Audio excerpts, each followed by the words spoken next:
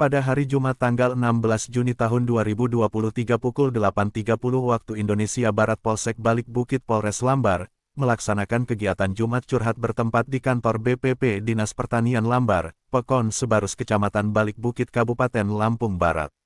Kegiatan Jumat curhat dipimpin oleh Kanit Binmas Polsek Balik Bukit Ibtu Sabtudin. Kegiatan didampingi oleh Kanit Intelkam Polsek Balik Bukit Aibda Hendro Saputra SH, Banit Intelkam Polsek Balik Bukit Bripka Ali Komarijaya, Babin Kamtipmas Polsek Balik Bukit, segenap staf dan pegawai BPIP Dinas Pertanian yang hadir.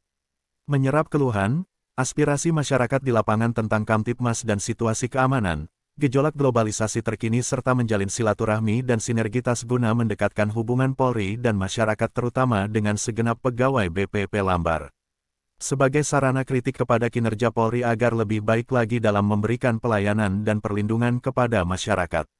Penyampaian Kanit Binmas Polsek Balik Bukit, silaturahmi dengan masyarakat, membahas antisipasi kenakalan remaja yang mengkonsumsi miras dan obat batuk, antisipasi pencurian kendaraan bermotor, penyampaian surat izin keramaian, penyampaian aspirasi masyarakat tentang kelangkaan pupuk subsidi.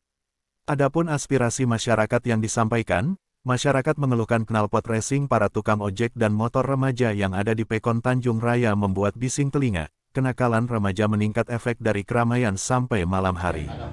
Suhartato Trans Live TV melaporkan.